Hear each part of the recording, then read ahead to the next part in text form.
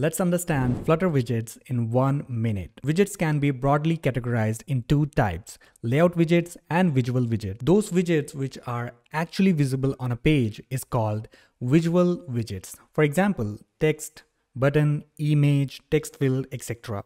Whereas the widget which helps to structure the layout is called layout widgets. Row, column, stack, container, list view, and grid view are some of the examples. Layout widgets can be further categorized into single child and a multiple child layout widget.